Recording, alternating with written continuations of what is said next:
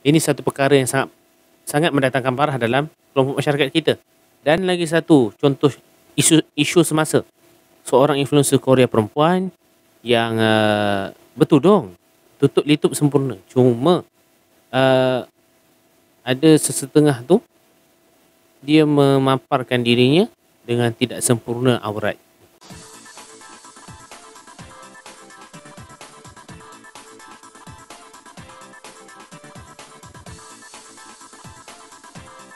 Ada uh, beberapa simpulan bahasa yang kita boleh amati uh, kerana maksudnya sangat mendalam tuan-tuan.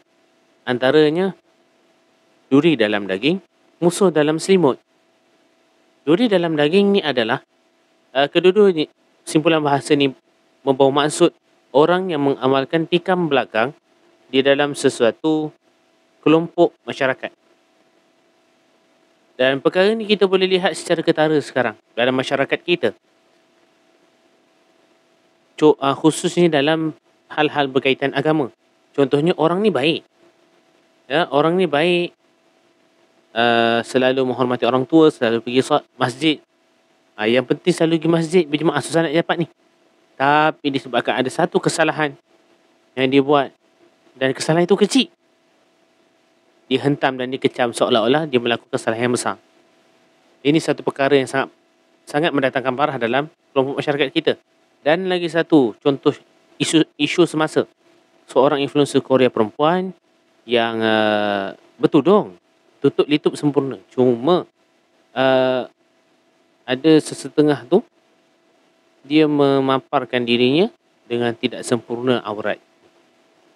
Jadi apa uh, netizen pun menghantar, "Eh dah tak nak pakai tudung dah ke?"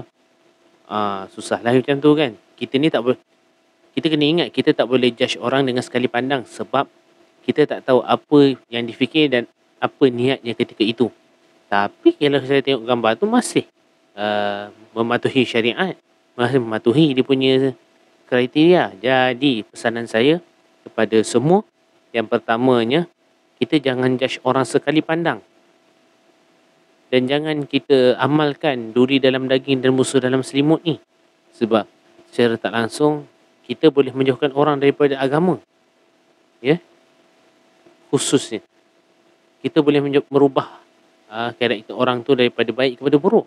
Uh, yang keduanya kepada yang melakukan tindakan ataupun kepada insan yang dimaksudkan influencer Korea tersebut. Lain kali saya mohon untuk fikir dulu sebelum melakukan sesuatu supaya tidak menimbulkan fitnah kepada diri anda sebab itu kita ni diarahkan untuk melakukan semuanya segala sempurna supaya tak mendatang kesusahan kepada kita di kemudian hari. Hashtag Ustaz Borak ada cerita Assalamualaikum.